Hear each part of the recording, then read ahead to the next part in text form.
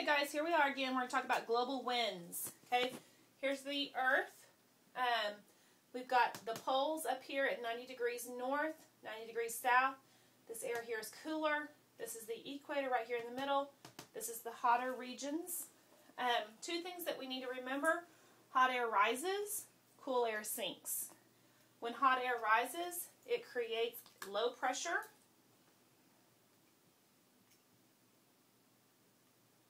it's rising.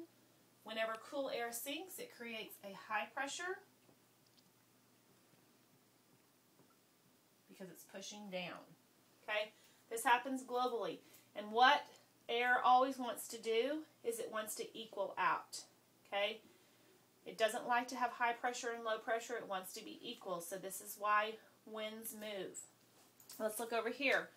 Warm air tends to rise. And so whenever we say rise, we're going to talk about rising up to the poles. Okay? So this is globally, the wind is going to rise up to the poles. When it reaches about 30 degrees north or south, either way, it starts to sink back down to the poles. So this is warmer air, this is cooler air coming back down to the poles. Same thing happens up here at the in the poles. This is at the North Pole. It happens in the South Pole as well. It sinks down. The cool air sinks down because it's a higher pressure, so it's sinking down.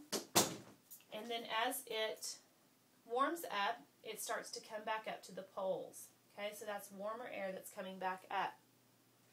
When this air starts to rise, it creates a low pressure pocket right there at 60 degrees north.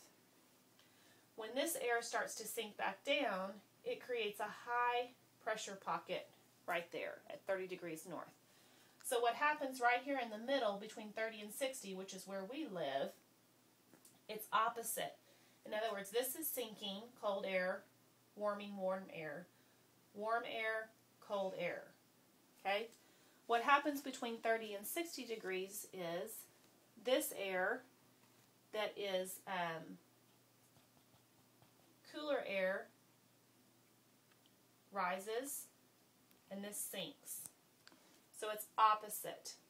Okay? So it's opposite of that. These are the winds that are in the middle. These are coming from the equator. This is the air that is coming from the poles. What happens is it creates global winds. So in general, that doesn't mean local winds. That doesn't mean that's always the wind is going to be blowing from one particular direction. But in general, what happens is winds that are up here are called polar easterlies. Okay? Polar easterlies tells you two things. It tells you where it comes from in the poles, and it tells you where it comes from as far as direction east. So polar easterlies are found at the poles, and they blow from the east.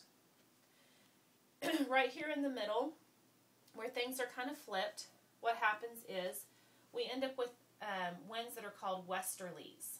So weather patterns and the global wind patterns that occur through this middle part are called westerlies, and that means that the wind, the global winds, move to the west or come from the west and move to the east. So it comes from the west, they're called westerlies, and they blow to the east. Um, and we see this where we live because we know that most of our weather patterns come from the west and they blow across the United States that way.